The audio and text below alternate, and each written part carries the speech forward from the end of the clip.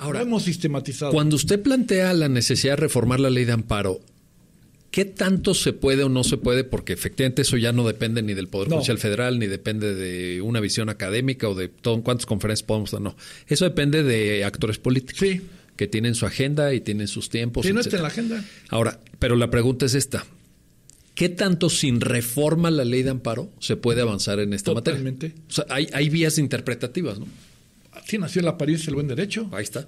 La apariencia del buen derecho no, no, estaba, estaba, ni, no, estaba, no estaba, no estaba ni en la Constitución. Es correcto, no estaba. O sea, la apariencia del buen derecho aparece en el 2011 en la Constitución y la venimos aplicando desde antes. Sí, sí. Fue novena época.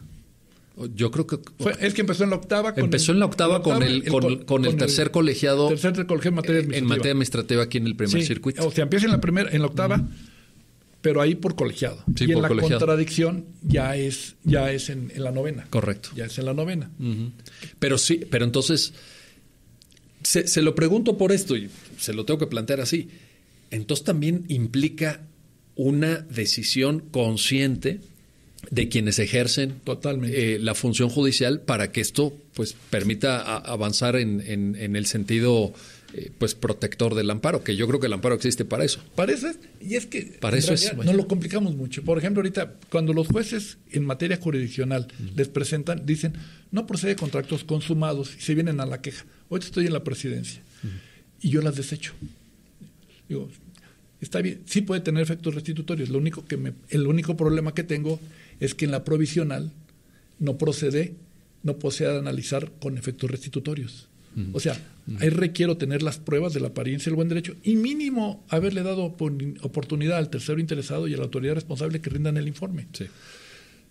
Hay, hay una, deseché una demanda de, de, un señor que quería que le devolvieran los hijos que se los había uh -huh. quitado la señora, por la razón que sea, está, viene de un procedimiento, el señor los pidió, se los quitaron en la reclamación y no se los quieren dar.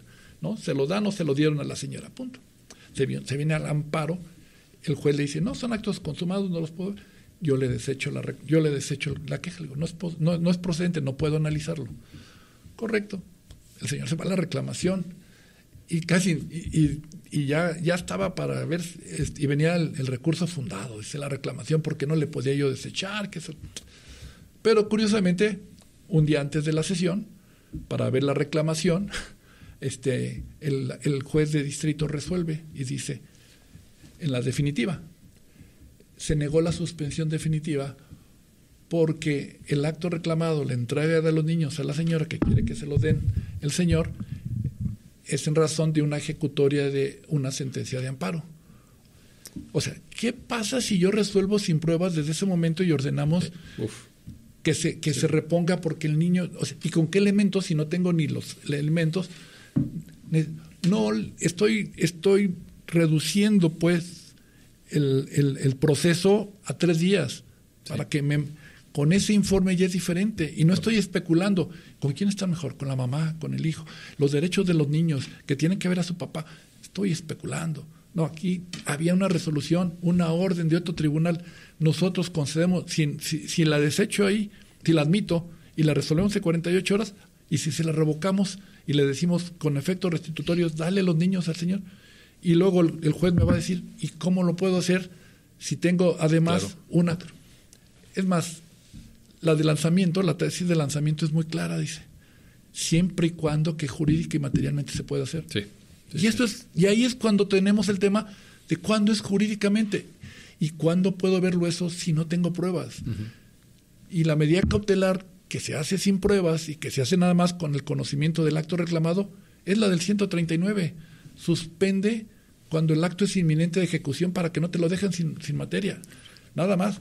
Las demás en realidad todo es con pruebas y puede ser hasta la definitiva. Nos hemos acostumbrado que todo se resuelve en la provisional. ¿sí? Pero pueden ser los de leyes, los de lo, los administrativos. Ahí es donde viene la diferenciación que usted señalaba al principio. Pero en un jurisdiccional, no, porque en este ya fuiste parte, no has sido parte. Claro. Aquí ya fuiste parte, no puedes ser desleal con el otro que ya te ganó en un proceso y ahora en el juicio de amparo se cambian las cuestiones. Mientras que en el otro tenía que haber garantía de audiencia para que te lo devuelvan, en este, porque es el juicio de amparo, no se respeta la garantía de audiencia del tercero. Sí, no, pues tiene que. Es todo, es todo un relajo, ¿no?